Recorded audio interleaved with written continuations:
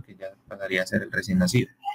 Un embarazo a término es eh, aquel que sea entre las 37 y las 41 semanas. Eh, antes de término, pues ante pretérmino antes de las 37 semanas y prolongado eh, luego de las 42 semanas.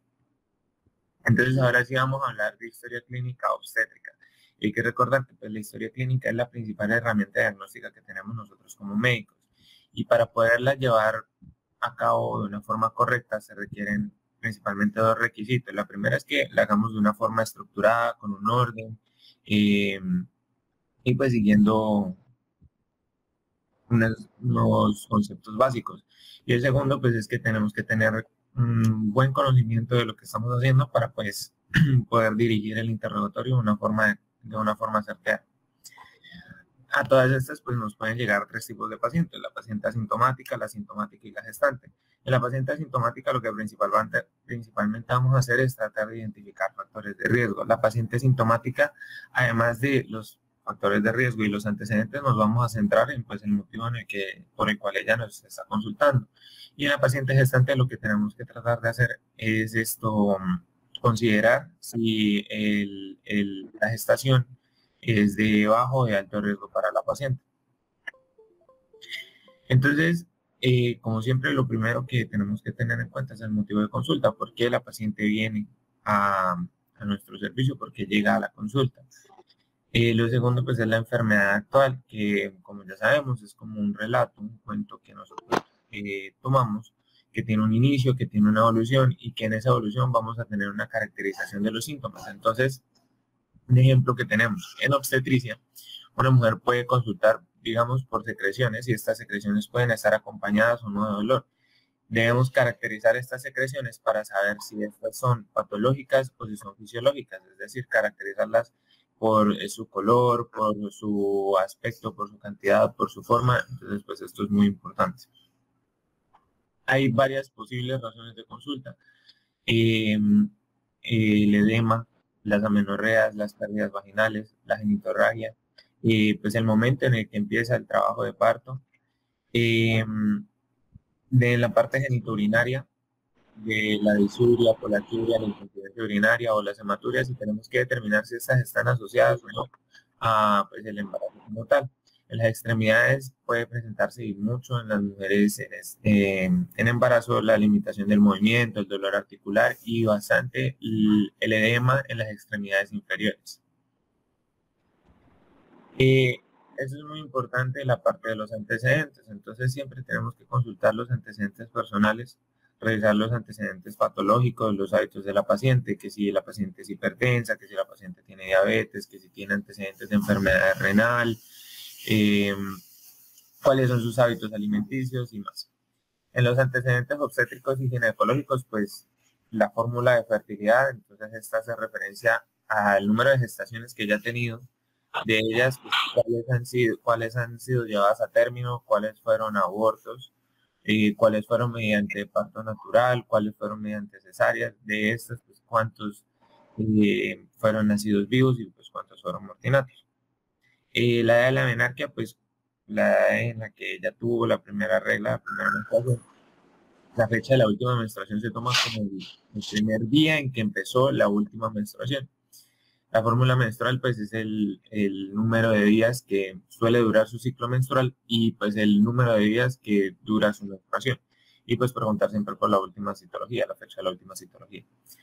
Si la paciente ya ha tenido partos, eh, cuál fue la vía del parto y la gestacional en la que se produjo el parto, el peso del recién nacido, preguntarlo siempre, y si el parto fue instrumentado, pues qué instrumentación se realizó, si fue cesárea, por qué fue cesárea, y qué complicaciones pudo haber eh, por parto. Si la paciente no ha tenido hijos y pues ella es sexualmente activa, hay que preguntar si esta es una esterilidad voluntaria o si por el contrario de verdad lo está intentando y no ha podido.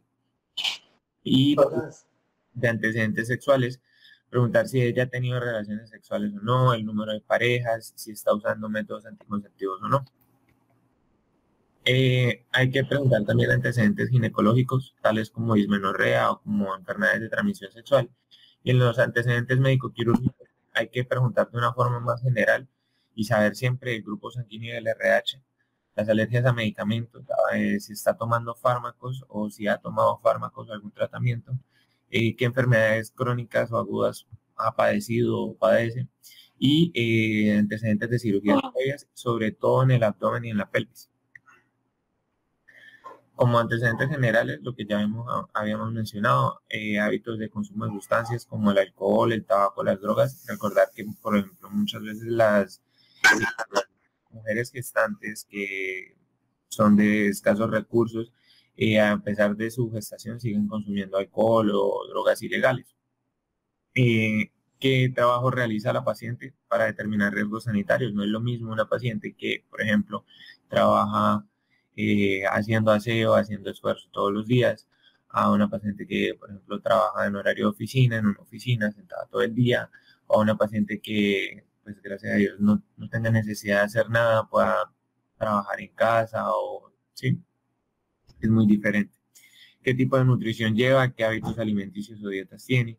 Y preguntar en antecedentes familiares bastante importante. Eh, antecedentes de hipertensión, de diabetes en su familia, de anomalías cromosómicas y de, por ejemplo, si mamá, abuela eh, tuvieron embarazos múltiples y antecedentes neurológicos, tales como la epilepsia.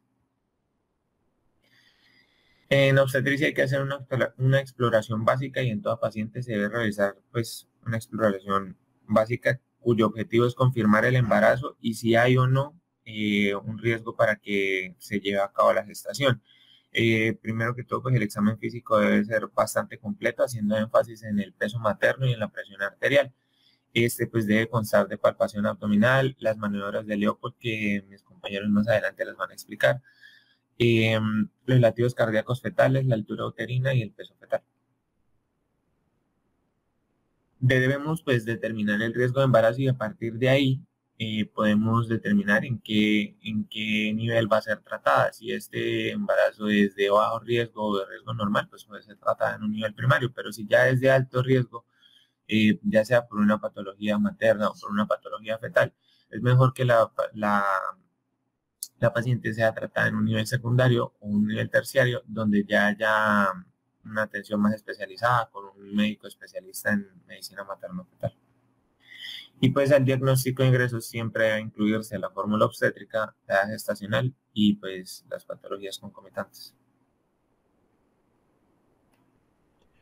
Listo. Eh, bueno, eh, ahora pues para complementar un poco a mi compañero, eh, para el diagnóstico de ingreso a control prenatal, pues vamos a tener en cuenta lo que es la fórmula obstétrica, que pues como tal viene siendo eh, un resumen de los antecedentes obstétricos de la, de la paciente. Eh, esta guía pues eh, me basé de una guía de, la Universidad de Chile. Ella pues usa como fórmula obstétrica cinco dígitos, que vamos a tenerlo en cuenta si un dígito es un parto a término, el otro dígito es parto prematuro, abortos espontáneos, abortos provocados, número de hijos. Es decir, son cinco dígitos. Entonces, ahí coloqué un ejemplo 10101. Entonces, ¿cómo lo va a interpretar eh, el especialista? Pues la paciente con un parto a término, un aborto espontáneo, un hijo vivo. Eh, otra que podemos tener en cuenta que pues es de siete dígitos. un dígito es un aborto espontáneo, otro dígito aborto provocado, parto pretérmino, parto a término, los mortinatos, mortineonatos y los hijos vivos. Entonces 10-01-001. Entonces para interpretarlo es un aborto espontáneo, un parto a término y un, hijo vivo. La siguiente. También pues para este diagnóstico eh, de ingreso pues vamos a tener en cuenta la edad gestacional, donde debemos de tener en cuenta la fecha de de la última menstruación. Eh, pues aquí hacemos referencia al día, al primer día eh, en que la paciente inició su última regla, es decir, pues eh, la paciente inició su última regla el 8 de enero del 2021. Entonces, para... Hay, varias formas de, calcular la gestacional, pero entonces esta me pareció más fácil porque empezamos a contar las semanas a partir del 8 de enero al 8 de julio, por así por un ejemplo, entonces hay 26 semanas y un día. Así lo podemos colocar. Siguiente. Y eh, algo que me faltó, pues también son las patologías concomitantes que debemos de colocarle a pacientes. Mi compañero habló gran parte de la semiología obstétrica eh, para el ingreso a control pernatal. Voy a hablarles un poco de la semiología obstétrica ya en el control pernatal. Eh, acá pues no nos vamos a enfocar mucho en los antecedentes de, la, paciente, vamos a enfocarnos ya en una anamnesis del embarazo actual eh, vamos a realizar el cálculo de la edad gestacional, los síntomas gestacionales que ha presentado la paciente, los normales, eh, náuseas, vómitos, eh, pirosis, alteraciones en el sueño, síntomas patológicos, si ha tenido sangrado genitales, si ha tenido dolor, dolor pélvico intenso, flujo genital, que tenga pues mal olor, que haya tenido contracciones uterinas. Debemos interrogar si la paciente eh, percibe eh, movimientos eh, del feto, pues eso ya es cuando tiene semanas, más de 20 semanas, pues eso me va a indicar esto, el bienestar de, del feto. Vamos a evaluar si la paciente está herida a las indicaciones que se le da, a los alimentos, a los medicamentos, a los exámenes, y eh, vamos a enfocarnos también en, en una anamnesis eh, de las patologías que fueron detectadas. Eh, si llegamos a encontrar una hipertensión, una diabetes en estos pacientes, pues vamos a guiar esto, la historia clínica hacia allí, hacia esa patología. también vamos a evaluar la asistencia de la mujer en los controles médicos a los especialistas que fueron, que fueron derivados. Siguiente. Ya pues en el examen físico, en los controles prenatales, pues eh, vamos a, hablar de forma general pues la toma de la presión arterial que viene siendo muy importante tomarla, el peso, la talla, el estado nutricional que vamos a tenerlo en cuenta cada vez que avanza la, la gestacional de la paciente. O sea, pues vamos a tener una representación gráfica en la cual pues a medida que va avanzando la gestacional vamos a colocar un punto y posteriormente pues vamos a unirlo. El examen físico cementario pues, se realiza solo si la paciente me refiere alguna condición patológica. El examen ginecológico pues también solo lo realizamos si la paciente me, sugiere si algún síntoma de, una patología. Y nos vamos a enfocar en, el examen obstétrico, que es el que debemos realizar cada vez que la paciente llega a un control eh, prenatal. Em, el examen obstétrico, pues, eh, consta de un examen obstétrico abdominal. Eh, como bien les dije, lo vamos a efectuar en cada control y el tacto vaginal, eh, que pues lo vamos a hacer solo en condiciones eh, sintomatológicas que presente la paciente. La siguiente. Listo. Entonces, para el examen obstétrico abdominal, pues vamos a tener en cuenta que, es una, es, una evaluación eh, del abdomen de la mujer embarazada.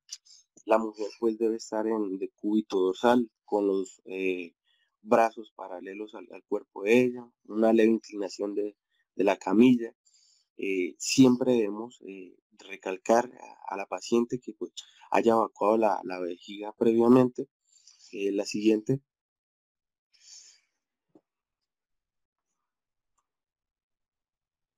Y eh, vamos a iniciar eh, teniendo en cuenta pues la edad gestacional. Eh, antes de las 12 semanas pues el útero de la paciente pues aún se encuentra en la cavidad pélvica. Entonces si vamos a realizarle un, examen obstétrico pues va a ser lo mismo realizarle a una mujer que no, es no gestante.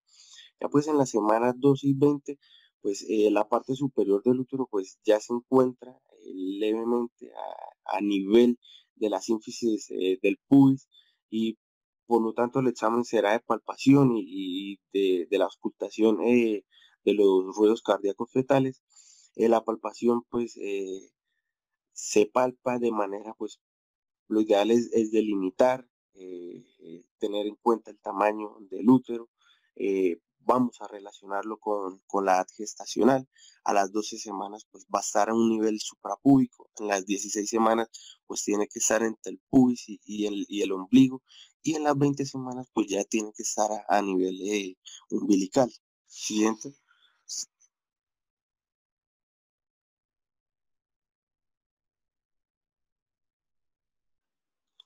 Ya eh, después de las 20 semanas, pues ya les dije, el útero pues tiene que estar a nivel eh, eh, umbilical, lo que pues el examen obstétrico aquí pues va a constar de una palpación abdominal, de las maniobras de Leopold, esto es cuando los embarazos son mayores a 28 semanas, de la auscultación de los latidos cardíacos fetales, de la medición de la altura uterina, eh, de la estimación clínica del peso fetal. Eso pues es en embarazos eh, eh, mayores a 28 semanas. Con respecto a la estimación clínica del peso fetal, pues eh, esto, es, es, esto se realiza más que todo por manos expertas, que son los que estiman el peso fetal a través del abdomen materno.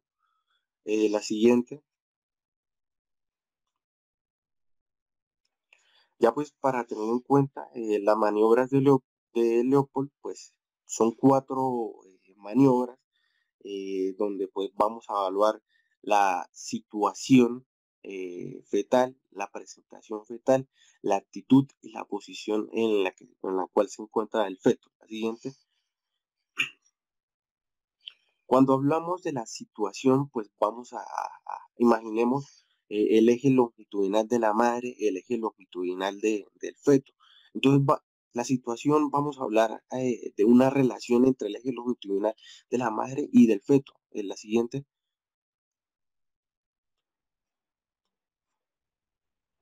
Camilo, que aparezca una imagen. Listo. Entonces ahí vamos a tener en cuenta el eje, como bien les dije, el paciente en la primera, en la primera imagen, pues el paciente tiene una situación que es longitudinal.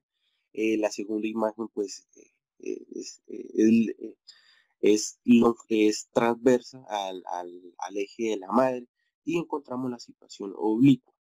Cuando hablamos de presentación, hacemos referencia a aquella porción del cuerpo que pues está a, nivel de, la cavidad pélvica, ya puede estar en una presentación cefálica o una presentación pélvica. El siguiente camino.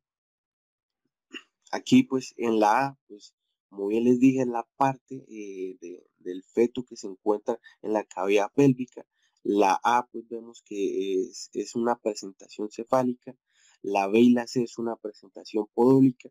Y la D pues viene siendo una situación que es eh, transversal pero vemos que el hombro es el que está haciendo la, presentación allí. La siguiente.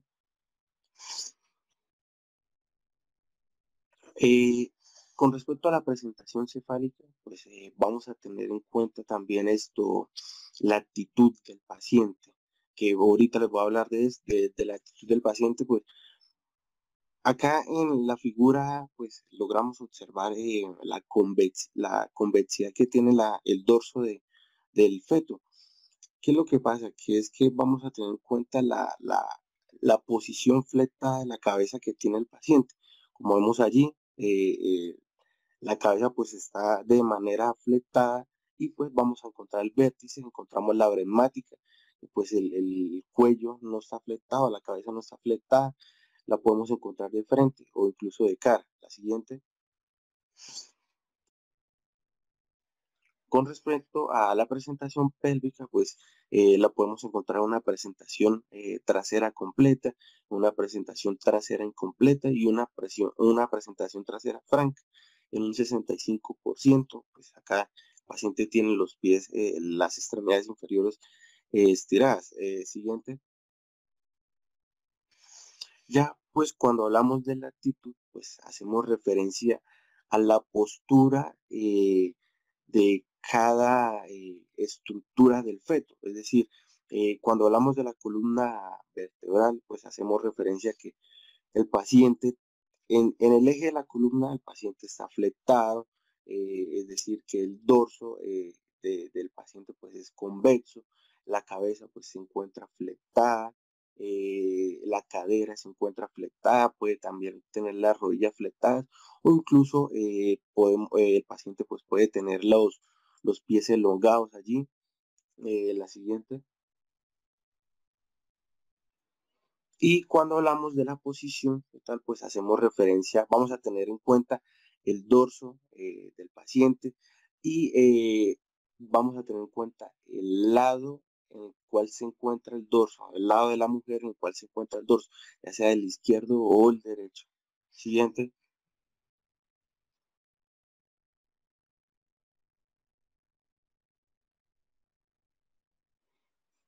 Eh, ya mis compañeros le, le, va a hablar de, las maniobras, de cómo son las maniobras del Olpo. Voy a hablarle un poco de la auscultación de los latidos cardíacos pues eh, esto pues es posible mediante un Doppler obstétrico. Eh, esto es en embarazos mayores a 12 semanas. Tiene ventajas de que esto hace que, la, materna pueda escuchar los latidos de, su hijo o también se puede hacer por el estetoscopio de Pinar, que pues eso es en embarazos eh, mayores de, 20 semanas, como vemos en la imagen, pues parece una trompeta ese estetoscopio. ¿Qué debemos encontrar? El foco máximo de auscultación, pero entonces allí vamos a tener en cuenta la gestacional. En embarazos menores a 20 semanas, pues vamos a encontrar eh, foco máximo de auscultación en la línea media, eh, en región infraumbilical. Ya de 20 a 28 semanas, pues vamos a encontrarlo a nivel del ombligo, pero en la línea paramedianas. Eh, ya en las 28 semanas, pues vamos a identificar, gracias a la maniobra de Leopold, eh, allí pues vamos a tener en cuenta eh, dónde se encuentra eh, el hombro y allí va a ser el foco máximo de auscultación. Siguiente. Buenos días. a continuación entonces yo voy a explicarles las maniobras de Leopold. como tal son cuatro, ya que se ven así en la imagen, y cada una de ellas permite identificar cada una de las características que mi compañero mencionó anteriormente. Como vemos entonces con la primera maniobra, eh, permite identificar más que todo la situación y la presentación fetal. Y entonces eh, se realiza con, de, la parte derecha de la camilla, con las manos y los dedos en la dirección hacia la cabeza de la materna y se va a empezar a buscar o a palpar en, el fondo del útero el polo fetal que esté presente. Entonces de esa manera se va a, a, conocer si el feto pues está en presentación podálica o en presentación cefálica. Eh, a medida que se va pues palpando con los dedos, eh, la una de las maneras que en la que se puede saber si el feto eh, tiene su polo cefálico hacia el fondo uterino es que eh, el polo cefálico, por lo general cuando se palpa, va a tener una consistencia mucho más blanda, pequeña y va a tener la característica de pelotear o de hacer eh, como una característica de movimiento dentro del líquido amniótico. Si estamos hablando entonces de que eh, hacia el fondo del útero, eh, la presentación o el polo que está presente es el podálico, entonces vamos a palpar con la primera maniobra eh, una consistencia mucho más dura, el tamaño va a ser un poco más grande y no va a tener la característica mencionada del peloteo. Con la segunda maniobra de Leopold vamos a identificar más que todo la posición fetal.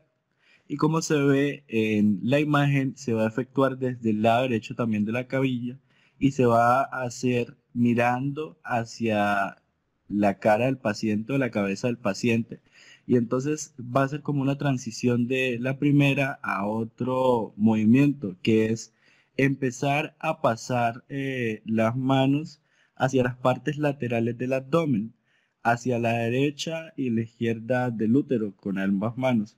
Con eso se va a identificar la posición en la que está el dorso del feto.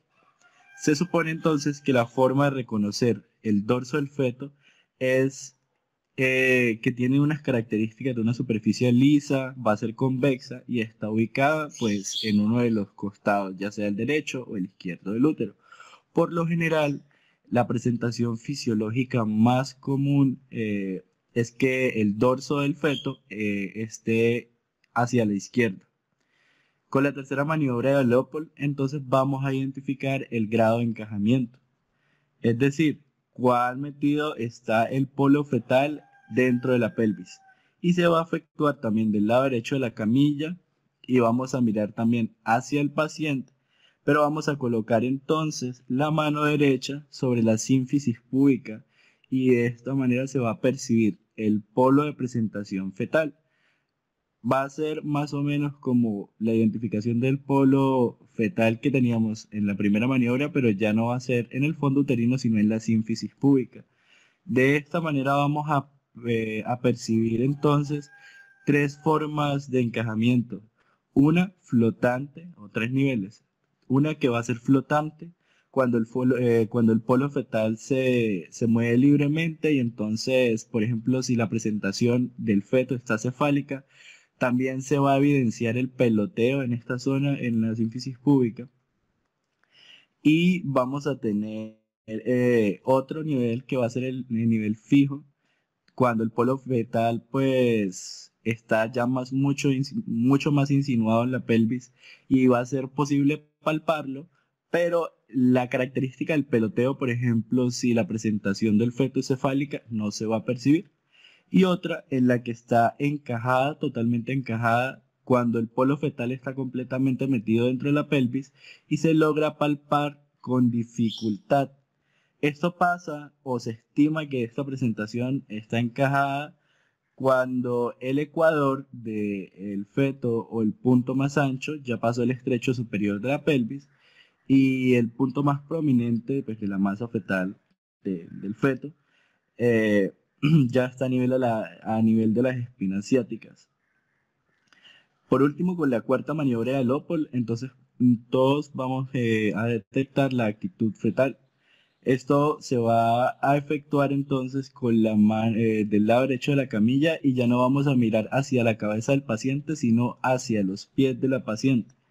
Se va a identificar entonces eh, la flexión del polo cefálico ubicado en la, en la pelvis materna.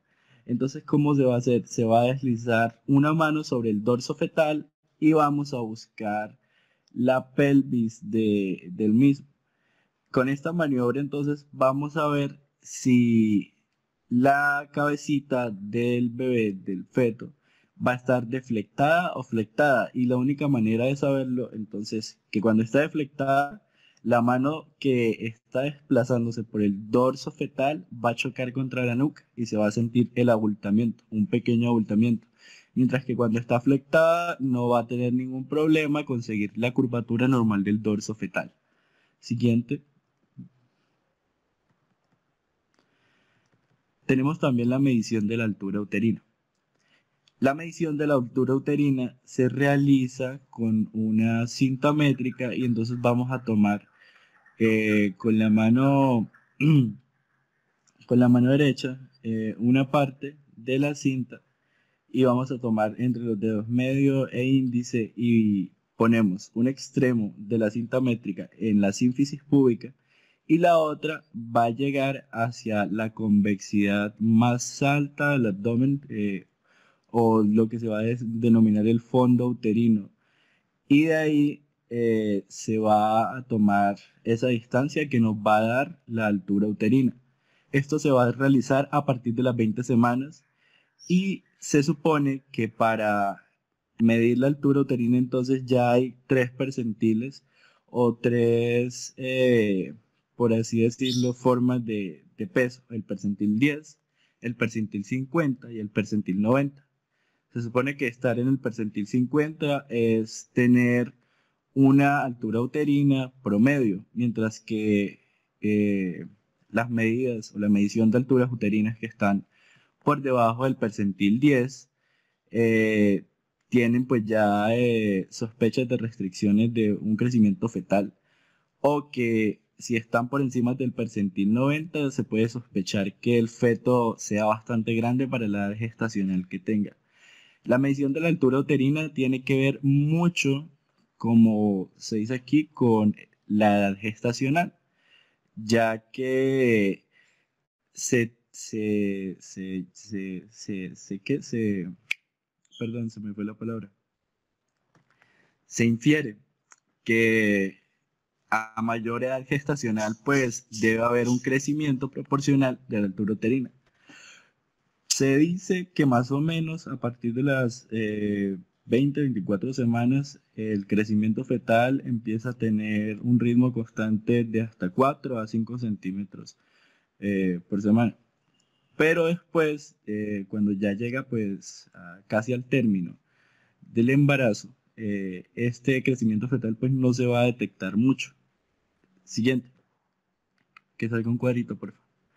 Entonces, hay bastantes circunstancias que, eso, eh, que pueden determinar que cuando eh, la medición se, efectúe sea percentil 10 o que esté por arriba del percentil 90.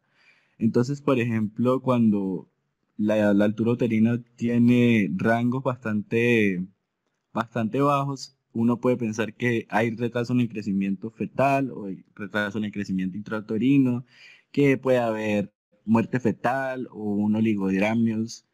Y si es en el caso de, de que de, de, una altura uterina pues bastante grande, eh, uno puede pensar entonces que es un embarazo molar, que puede haber presencia de miomas también, que puede ser un embarazo múltiple esa es otra opción. O que hay una presencia de una macrosomía. Siguiente. Aquí pues se ve un doctor practicando la medición de la altura uterina desde la sínfisis pública hasta el fondo del útero. Siguiente. Aquí vemos entonces eh, una tabla que resume mucho mejor eh, de lo que debería ser el estándar o los niveles a los que en las semanas de gestación va a llegar la altura uterina. Por ejemplo, vamos a ver que, como ya se ha dicho, hacia la semana 12, el útero pues se va a poder palpar en, en el abdomen porque ya sube a nivel de la sínfisis del pubis. Y a medida que, por ejemplo, van pasando las semanas de gestación, vamos a ver, por ejemplo, que la semana de 16 ya se encuentra entre esta sínfisis del pubis y la zona del ombligo. Y ya para la semana 22 eh, se puede palpar o va a haber una altura uterina a nivel del ombligo. Ya vemos que, por ejemplo, hacia la semana 36 va a alcanzar un punto máximo o el punto que va a ser el porte costal y eso detiene ya pues el crecimiento del útero. Se dice que ya hacia estas últimas semanas pues no se detecta más crecimiento, la verdad si hay, es muy despreciable. Siguiente. Y aquí, bueno, esto es una tabla con todos los valores más o menos estimados de los percentiles diferentes respecto a la altura uterina. Siguiente. También tenemos la estimación eh, clínica del peso fetal, que como mi compañero lo había dicho, se realiza más que todo con la palpación del feto y de esta manera, teniendo en cuenta el tamaño, se va a hacer una estimación del peso. Más que todo, esto lo realizan manos expertas, manos que ya están entrenadas y pueden hacer eh, pues una estimación perfecta se dice que cuando esto pasa tiene más o menos de un margen de error del 10%, pero es bastante buena la estimación. Si no, se puede usar eh, la regla de Johnson-Dosage, que entonces usa la altura uterina menos una constante por 155 más 200 gramos. Y la constante entonces puede valer 12 cuando la presentación fetal está en vértice y está por arriba de las espinas ciáticas o está denominada libre y vale 11 si la presentación eh, fetal está en vértice pero está por debajo de las espinas ciáticas o sea que el bebé ya está encajado, el feto está encajado. Siguiente.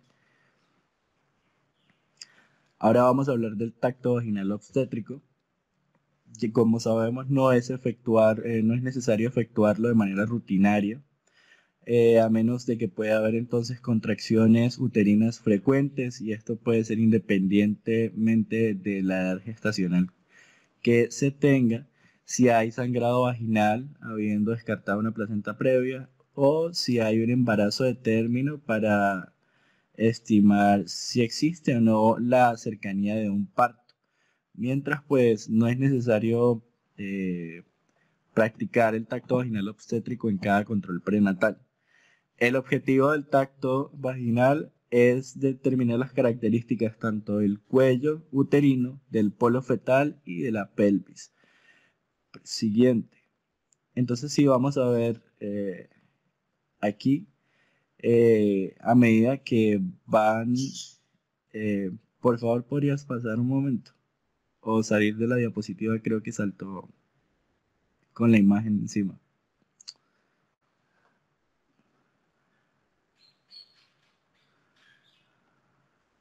Vale, gracias. Qué pena. Bueno, si vamos a hablar entonces de la evaluación del cuello uterino, vamos a tener varias características.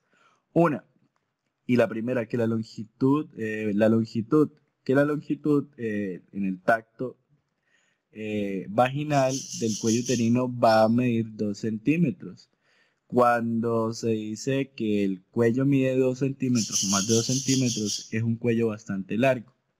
Y si el cuello mide un centímetro o la proporción de 2 centímetros a 0 centímetros, entonces, por ejemplo, en un centímetro vamos a decir que está 50% borrado.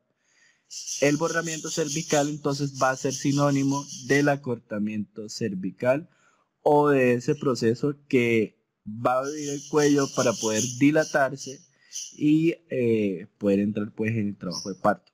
Si estamos hablando de dilatación, entonces se refiere específicamente a la dilatación del orificio cervical interno.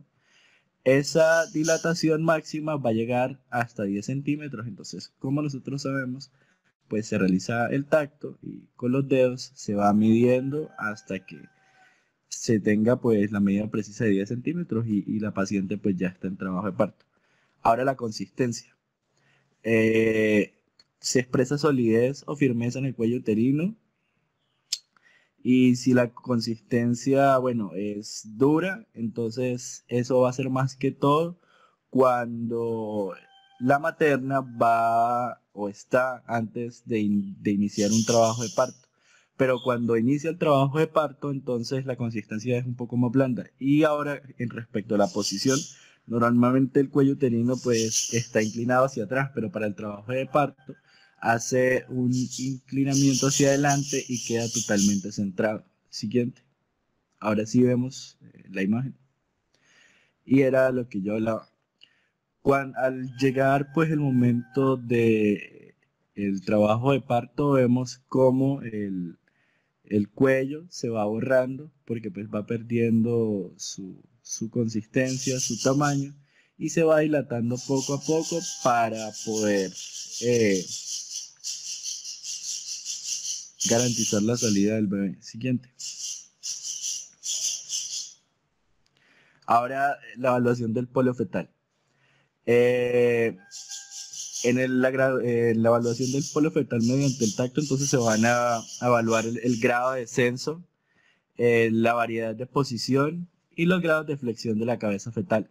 Con el grado de descenso, pues vamos a ver en el nivel del punto más prominente de la presentación en relación al nivel de las espinas ciáticas. Y de ahí pues se va que detectando por medio del tacto. La variedad de posición es la relación pues, del punto del reparo de la presentación con respecto a la pelvis materna. Tiene varias eh, posiciones y de estas vamos pues a hablar porque pues bueno, en la presentación, en una presentación, por ejemplo, cefálica bien flectada, el punto de reparo o el punto estándar va a ser el occipucio o el vértice.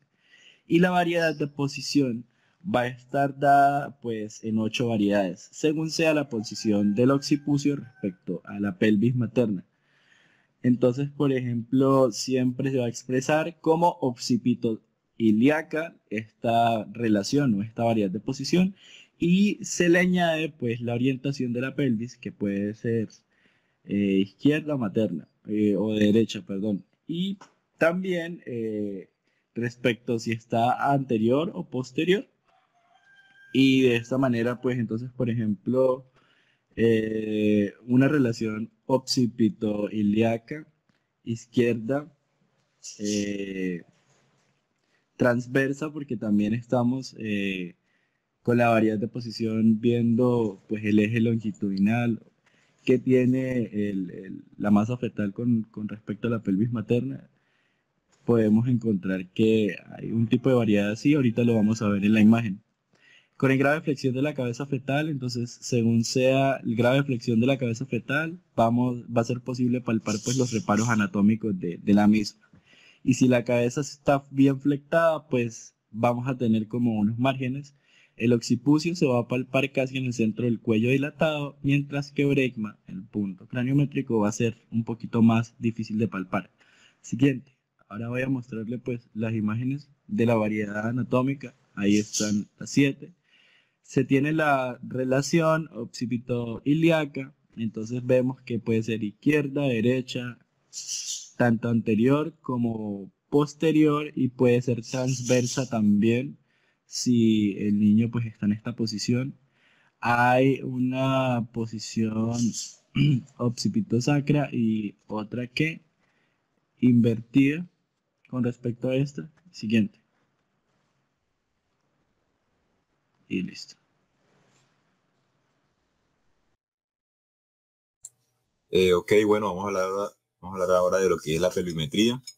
Tenemos que saber que la pelvimetría es una técnica que nos permite a nosotros valorar lo que es los diámetros de la pelvis de la mujer que se encuentra embarazada y esto se hace más que todo para determinarse, para determinarse el parto. Se va a realizar por cesárea o va a ser un parto natural. Eh, hay que tener en cuenta que esta técnica, eh, pues a pesar de que sigue siendo usada, también tiene lo que es un bajo nivel de capacidad predictoria como también eh, un alto nivel de imprecisión. Entonces, por eso pues se cuestiona mucho su uso eh, normalmente. Eh, cabe resaltar que esta técnica se realiza en la semana 37 en adelante y para ello existen diversas formas de hacerla. Una es la pelvimetría combinada, la cual pues se miden lo que son los diámetros internos y externos de la pelvis. Otra es la digital o pelvigrafía, en la cual pues se miden lo que es el tamaño del canal del parto mediante lo que es el tacto vaginal, eh, identificando lo que son los puntos óseos de la pelvis. Otro es la pelvimetría radiológica, la cual eh, mide lo que son las dimensiones del canal óseo mediante lo que son los rayos X, la ultrasónica que se hace mediante ecografía y la instrumental que se hace con el pelvímetro. Eh, siguiente. Bueno, aquí tenemos lo que es la clasificación según Caldwell-Molloy, que clasifica los tipos de pelvis de acuerdo a su morfología.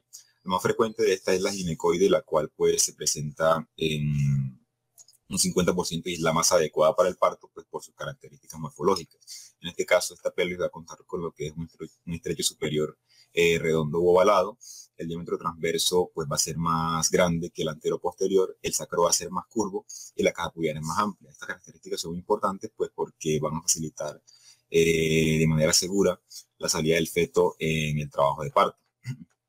Otra de las pelvis que podemos encontrar son un androide, que como su nombre lo dice, es una pelvis que tiene características masculinas. Aproximadamente el 20% de las mujeres que la tienen son aptas para el trabajo de parto. Y sus características van a ser que es una pelvis triangular, con diámetro transverso menor en comparación al diámetro antero-posterior. Las paredes laterales también van a tender a converger y em, la región pubiana va a ser más estrecha eh, en comparación con la pelvis ginecoide. Otra es la antropoide, que la cual, la cual pues tiene la característica que el diámetro posterior será mayor que el transverso, por lo cual pues va a ser también difícil en el caso de los, pues, los trabajos de parto. Y la pelvis eh, platipeloide, la cual eh, tiene la característica de que es ovalada, pero es, eh, bastante plana en sentido lateral y estrecha pues en la porción anterior en todos los niveles. Siguiente. Bueno, aquí vemos mejor pues cada una de las pelvis que les comentaba. Eh, vemos aquí pues la ginecoide, pues que es la más apta para lo que es el trabajo de parto. Y aquí vemos las otras, los otros tipos de pelvis que pues, obviamente son menos frecuentes. Siguiente. En cuanto a los planos pélvicos, tenemos que saber que eh, la pelvis se divide en dos tipos de pelvis, una que es mayor o falsa o una que es menor o verdadera. En el caso de la mayor, es una pelvis que tiene poca importancia obstétrica y, más que todo, pues está caracterizada por tener eh, contenido abdominal dentro de sí misma. La pelvis menor o verdadera es la pelvis que pues básicamente es eh, por medio de la cual va a pasar el feto una vez eh, vaya a salir eh, pues, en el trabajo de parto. Eh, esta pelvis pues, va a contener lo que son las vísceras extraperitoneales, como por ejemplo lo que son la vejiga, el útero, el recto, y sus delimitaciones van a ser pues la aleta sacra, como vemos acá en la imagen, la línea arcuata del ilion y la sínfisis del pubis. siguiente. En cuanto al estrecho superior de la pelvis, tenemos que saber que eh, se encuentra compuesto por eh, cuatro diámetros y tres conjugados. Entre los conjugados tenemos, bueno, primero que todo, pues vamos a delimitarlo. Eh, hay que tener en cuenta que en su parte anterior va a estar delimitada por lo que es las ramas horizontales de la sínfisis del pubis, como vemos acá en la imagen. En la parte lateral va, a ser la cresta pectínea y en la parte posterior el promontorio y las alas del sacro. En este caso, los diámetros los conjugados van a ser pues el conjugado verdadero o diámetro entero posterior, que es un diámetro que pues, va desde la sínfisis del pubis hasta el promontorio sacro. Otro que es el obstétrico, que es, va igual desde la sínfisis del pubis hasta el promontorio sacro, pero recorriendo la distancia más corta. Este aproximadamente mide unos 10 eh, centímetros o incluso un poco más. Y el diagonal, que es el diámetro que se mide tomando pues la distancia igual desde el sínfisis del pubis hasta el promontorio sacro, pero en este caso pues teniendo en cuenta los dedos del examinador. Eh, siguiente. Aquí tenemos pues cada uno de los cuatro diámetros, el antero posterior, el cual eh, se extiende de lo que es el margen superior de la sínfisis del pubis hasta el promontorio sacro. Mide aproximadamente unos 10 centímetros eh, y también se denomina conjugado verdadero. El transversal, que es un diámetro que traza lo que es, que va desde las líneas terminales de cada lado en la pelvis, como vemos acá en la imagen que tiene la raya de color fucsia se cruza pues básicamente con el conjugado obstétrico aproximadamente mm, unos 5 centímetros por delante del promontorio sacro y mide aproximadamente unos 13 centímetros de diámetro. Otro es el oblicuo que va desde lo que es la articulación eh, sacroiliaca eh, hasta la eminencia hilopectinia del lado opuesto. Como vemos acá en la imagen naranja, vemos que se, entrecruzan las líneas, por eso detrás se, se denomina plano oblicuo. Y otro es el estrecho medio, el cual se caracteriza pues porque va a ser el plano medio entre las dos dimensiones pélvicas. Este eh, estrecho medio, que también se conoce como plano medio, va a tener la característica de que va a contar con dos diámetros. Uno es el interespinoso, que mide aproximadamente 10 centímetros o puede medir más, o el diámetro entero posterior, que mide aproximadamente unos 11.5 centímetros. Eh, siguiente. Bueno, como vemos acá, eh, ya hablamos del estrecho superior, ahora vamos a hablar del estrecho inferior. En este caso hay que saber que este cuenta con unas delimitaciones que van a formar dos triángulos, uno que va a ser anterior y otro que va a ser eh, posterior. En el caso del triángulo anterior, hay que resaltar que está formado por lo que es eh, la rama descendente de los huesos púbicos, y en el caso del triángulo posterior va a estar delimitado por lo que es eh, la punta del sacro y los límites laterales del ligamento, de los ligamentos sacrotuberosos, porque aquí en la imagen no se ven, pero pues están, se encuentran eh, a este nivel, que terminan pues formando el triángulo. Eh, el triángulo, esta, esta línea pues se divide en, se, se termina formando dos líneas que van desde lo que es el sínfisis del pubis hasta eh, la, eh, la, punta del sacro y entre las dos líneas eh, sacrotuberosas. la línea que se forma de manera longitudinal o antero-posterior va a tener una longitud de aproximadamente unos 11.5 centímetros y la línea transversa que se forma va a tener una longitud de aproximadamente unos 10 a 11 centímetros. Siguiente. Eh, en cuanto a la pelvimetría externa, este, pues básicamente tiene la importancia de que nos permite hacer un diagnóstico de lo que es la forma y el tamaño, junto con lo que son las dimensiones de la pelvis en la parte externa. que junto con, con, lo que es la pelvimetría interna permiten pues hacer una mayor aproximación diagnóstica de lo que es el tamaño de la pelvis. Aquí lo que se va a hacer es poner a la paciente que se encuentra obviamente embarazada de pie y se le van a trazar, se, se le van a identificar ciertos puntos anatómicos, entre ellos pues no sé si se ve bien en la imagen, pero pues lo que vamos a identificar acá van a ser lo que es la quinta vértebra lumbar, las dos espinas ilíacas posteros superiores y el pliegue interglúteo. Ahí vamos a trazar un rombo que se conoce como el rombo de Michaelis y este rombo pues le vamos a trazar dos líneas pues para terminar de formarlo y formar dos triángulos pues superiores y los triángulos inferiores. Eh, la línea vertical que va a ser aproximadamente unos 11 centímetros y la transversal que va a ser aproximadamente unos 10 centímetros. Eh, cabe resaltar que los dos, los dos, triángulos que se forman en la parte superior van a tener eh, una longitud eh, de unos 6.5 centímetros y lo de la parte inferior de unos 7.4 centímetros. ¿Por qué es importante esta técnica? Pues básicamente eh, nos permite pues, hacer varias interpretaciones. Por ejemplo, si el, rombo eh, tiene una ampliación normal, quiere decir que la pelvis está agrandada. Pero si el rombo es más pequeño, quiere decir que la pelvis es más estrecha si existe una reducción pues, de la línea transversal que nosotros hemos trazado por debajo del límite normal del diámetro que debería tener, entonces, en este caso, nosotros podríamos decir que la pelvis pues, es más ancha. Si están reducidos por los triángulos superiores, eh, la pelvis podemos decir que es un poco más plana. Y eh, si, digamos, eh, alguna mitad del lado del rombo está más estrecha o se encuentra asimétrica con respecto a la otra, en este caso podríamos decir que, la pelvis pues, es una pelvis asimétrica. siguiente, perdón. En cuanto a la medición conjugada externa de Baudeluc, es otra técnica que se puede medir eh, por medio de pelvimetría externa. En este caso, eh, lo que vamos a calcular acá son diversos diámetros, eh, como por ejemplo lo que es el promontorio público mínimo, que es un diámetro que, se, que tiene pues, sus delimitaciones desde la quinta vértebra lumbar hacia la cara anterior del pubis, mide aproximadamente unos 19 a 20 centímetros y pues se mide pues, con la paciente de pie como se ve en la imagen. En este caso, eh, hay que restarle a, esos 19 o 20 centímetros lo que es eh, los tejidos o las partes, tejidos blandos de las partes óseas, que son de aproximadamente 8.5 a 9.5 centímetros. Y así pues podemos sacar pues el diámetro del promontorio público mínimo. Otro es el diámetro espinoso, pues que mide las, las distancias que hay entre ambas crestas ilíacas, mide aproximadamente unos 24 centímetros. Otro es el bicrestilio, que mide pues igual la distancia pues más larga que hay entre las dos crestas ilíacas, que mide aproximadamente 28 centímetros, y el vitrocanterio, que mide aproximadamente unos 32 centímetros. Siguiente.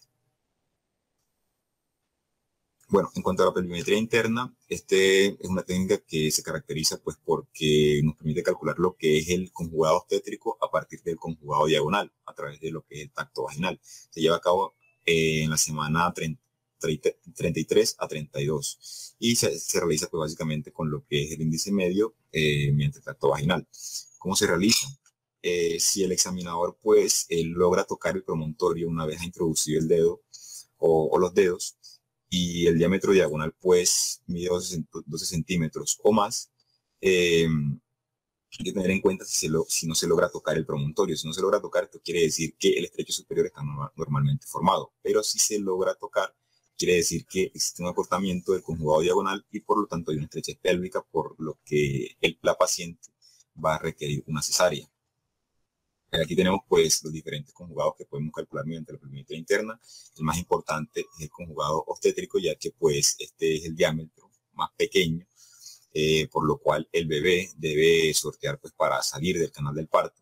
Entonces pues es el diámetro que clínicamente se va a determinar para ver si la, si la paciente requiere una cesárea o requiere un parto natural. En este caso, las indicaciones para el, el conjugado diagonal es que la paciente tenga una vejiga libre, que esté acostada en, posición obstétrica con el sacro bien apoyado sobre la camilla y eh, también pues em, que la punta del dedo medio del examinador eh, logre tocar eh, la parte más saliente del promontorio y así pues, obviamente determinar la estrechez pélvica. Siguiente.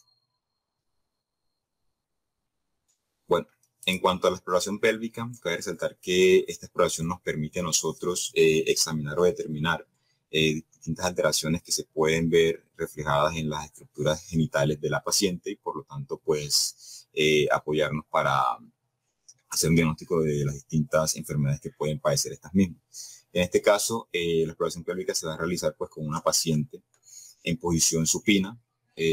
Cabe resaltar que la, paciente tiene que estar en posición de ligotomía dorsal, esto quiere decir pues con las piernas levantadas, mirando hacia el examinador y los pies descansando pues en estribos.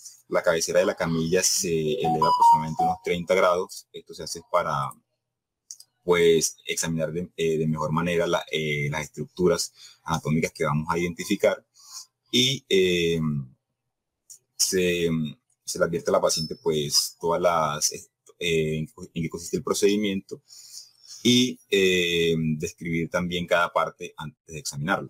En este caso, lo primero que vamos a hacer es inspeccionar los ganglios linfáticos de la región perineal o los ganglios linfáticos inguinales. ¿Por qué? Pues porque muchos cánceres tienden a diseminarse hasta esa, zona, entonces es útil pues para descartarlos, o no solo cánceres, sino también pues descartarlo algún grado de infección. ¿Cómo va a ser la examinación? Pues nosotros iniciamos una inspección desde lo que es el periné mm, eh, hacia el monte de Venus en posición ventral, identificando cada uno de lo que son los pliegues genitocurales hay que resaltar que pues muchas infecciones eh, y neoplasias abarcan lo que es no solamente la vulva, sino que también abarcan la región perianal, entonces por eso es importante también inspeccionarla. También hay que tener en cuenta que se, se pueden palpar las zonas buscando lo que es de pronto algunas anomalías en las glándulas aledañas que se encuentran en esa zona. Y pues si en determinado caso pues hacemos un hallazgo, pues nosotros como médicos generales, eh, en cuanto a lo que sea sintomático o algún hallazgo asimétrico, eh, cabe resaltar que en estos casos pues, se necesita lo que es una valoración más específica en este aspecto. Siguiente. Bueno, aquí tenemos los tres tipos de valoraciones que vamos a hacer eh, en cada una, pues, pues en la paciente, eh, los tres tipos de valoraciones. Tenemos lo que es la primera, que es la exploración con espejo vaginal. Como su nombre lo dice, se va a utilizar un espejo, puede ser de metal o de plástico, eso va a depender de las características propias de la vagina. Y eh, cabe resaltar que eh, una vez eh, que lo que se examinar acá con este espejo es evaluar lo que es la vagina y el cuello uterino. Antes de, antes de introducirlo, lo que debemos hacer es calentarlo y ponerle un lubricante, pues esto es para evitar las mínimas molestias en la paciente. Luego, también hay que tener en cuenta que antes de introducirlo se separan los labios menores con delicadeza y luego se identifica la uretra. Si la paciente de pronto tiene algún grado de sensibilidad uretral, eh, procedemos a introducirlo debajo del método urinario. También hay que tener en cuenta que este método es útil pues para determinar, eh, para determinar las estructuras anatómicas de la paciente en aquellas que pues se realizan su primera exploración o que tienen relaciones sexuales esporádicas que pues por esa razón padecen de dispareunia.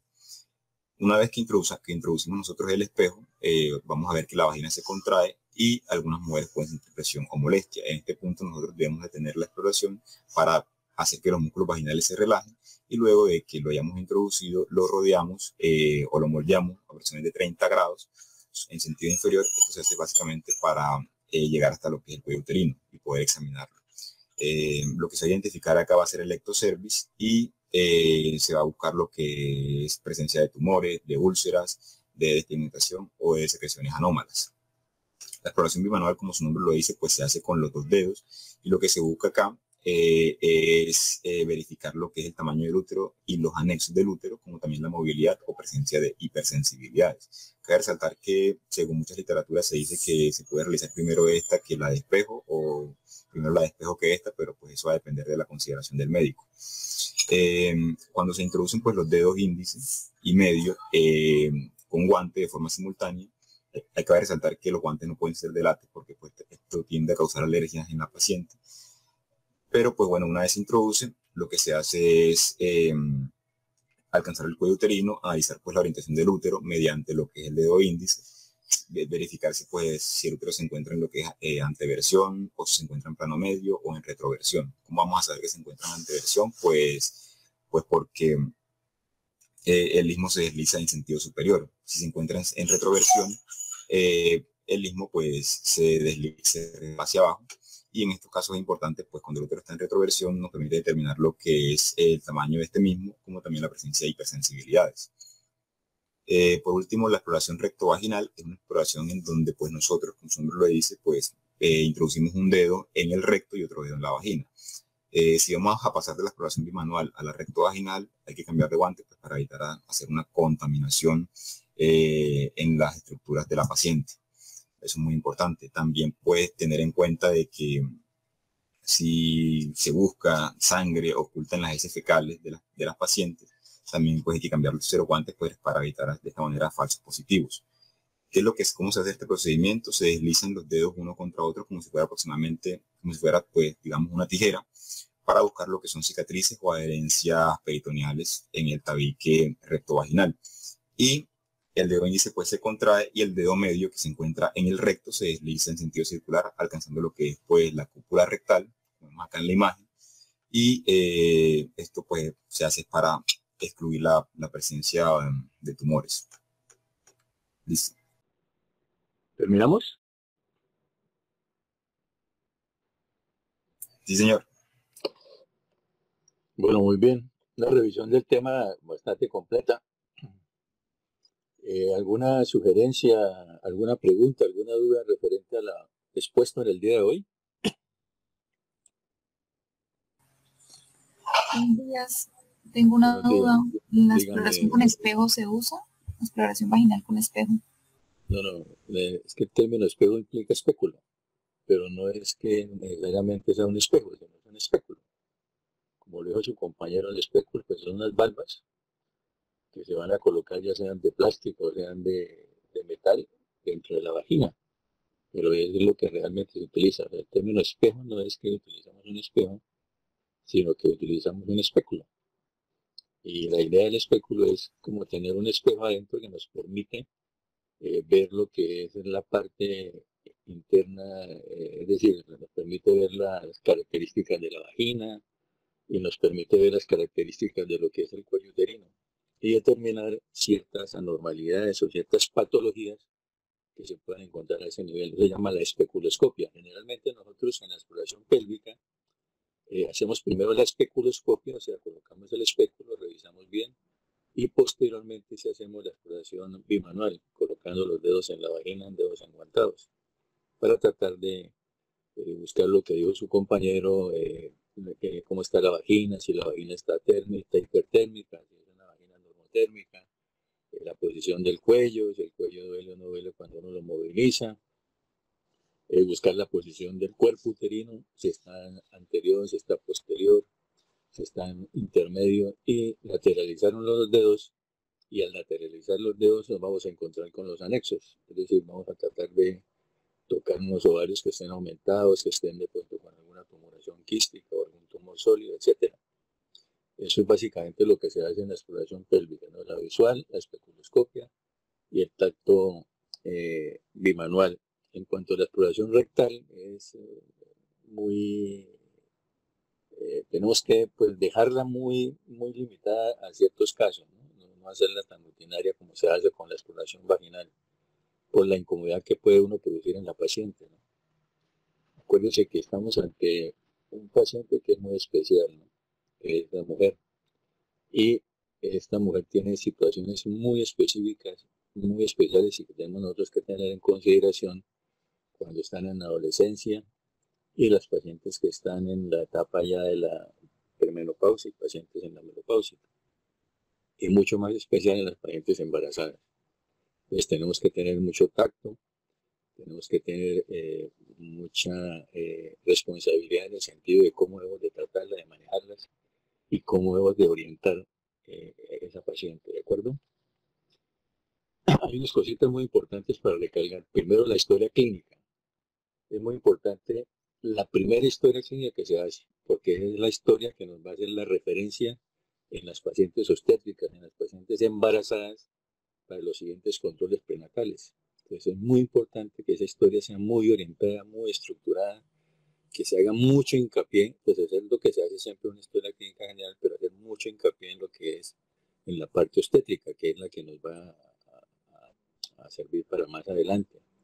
Importantísimo no olvidar la semiología de lo que es la valoración obstétrica, no olvidar las maniobras de Lopol, eh, en qué momento deben iniciarse, 26, 28 semanas, por qué la importancia de esas maniobras. la importancia de saber cuándo tenemos que ocultar los, la petocardia, las cuantas semanas en la prima, en la multi, cómo se debe ocultar. Eso es básico para encaminar un diagnóstico. Y el diagnóstico importantísimo es decir, si la paciente que ustedes ven por primera vez es una paciente que va a ser una embarazada de bajo riesgo o una embarazada de alto riesgo, para saber quién es que va a manejar ese tipo de pacientes. En cuanto a la parte de la perimetría, para decidir si la paciente va a tener un parto normal o un parto eh, por vía alta, por vía por cesárea, pues eh, hoy en día hay mucha controversia por las valoraciones de la pelvis, tanto la valoración interna, la valoración externa, en tanto también por la radiografía que ya está en desuso para valorar la pelvis, por las resonancias, etcétera. Aquí lo más importante es para saber si el parto va a ser eh, normal o va a ser por cesárea, es hacer lo que nosotros llamamos, y más adelante van a, ver, van a ver ustedes en las clases, es el trabajo de parto, dar una prueba de trabajo de parto. Ahí es donde nosotros sabemos si realmente esa paciente está apta para un parto normal o para una cesárea. A excepción de cuando uno valora la pelvis y ve una pelvis que realmente es muy estrecha, porque por ejemplo una pelvis androide, una pelvis masculina, no hay nada que hacer. Ahí sí ya hay una estrechez pura y eso no hay nada más que hacer. O lo otro, es cuando nos encontremos en el examen eh, físico ante las pelvis asimétricas. Ahí tampoco no hay nada más que hacer. Paciente que tendrá que desembarazarse por, por cesárea.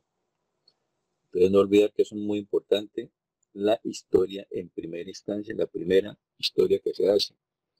Y de acuerdo a eso, ahí va el seguimiento de las pacientes en los otros controles prenatales. ¿Alguna otra pregunta? Sí, doctor, buenos días.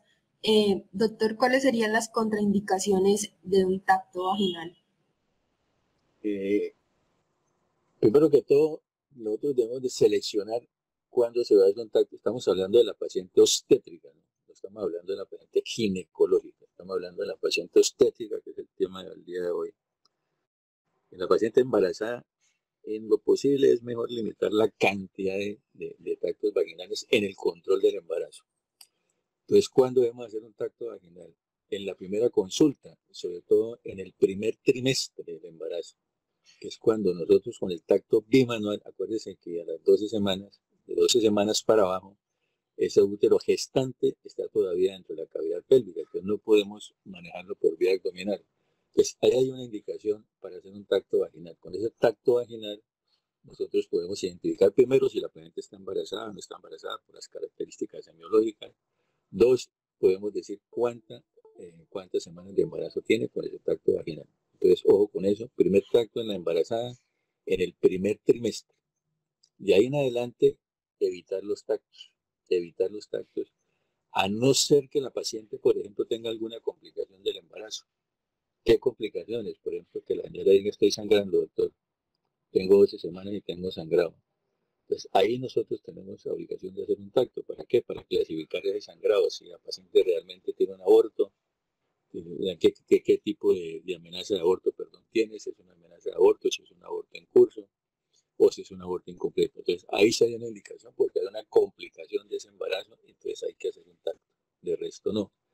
Y el otro tacto que se recomienda es ya finalizando el embarazo, semana 36 en adelante, para eh, clasificar la pelvis para saber dar un concepto si es una pelvis adecuada, si es una pelvis límite o si es una pelvis estrecha. Un concepto muy subjetivo, como les estaba diciendo anteriormente, porque realmente eh, si la pelvis estrecha es dando un trabajo de parto, pero son conceptos subjetivos que nos ayudan a nosotros. Eh, otra indicación de un tacto vaginal en la paciente obstétrica es cuando ella, por ejemplo, cursando un embarazo ya, por decir algo, de más de 20 semanas, nos indica que está saliendo abundante líquido a través de la vagina. Entonces ahí tenemos que hacer una valoración de la, eh, de la, la vagina y del cuello para saber si realmente hay algo, hay una ruptura de membranas. Entonces la conclusión es limitar los tactos vaginales en la paciente obstétrica. Ya lo que es el trabajo de parto, más adelante lo van a ver ustedes, pues también eh, hay ciertas limitantes, los tactos generalmente únicamente son tres o cuatro máximo durante el trabajo de parto, pero ya eso es diferente. Pero en la paciente que está haciendo control prenatal, fíjate que únicamente hablamos de uno, dos o tres tactos durante todo el control del embarazo. ¿De acuerdo? Listo. otra pregunta? Muchísimas gracias. Bueno, entonces damos por terminada la exposición de hoy. Felicitaciones, felicitaciones al grupo. Que pasen un buen día. Hasta luego, pues. Gracias, doctor. Hasta luego. Gracias, doctor. Hasta luego.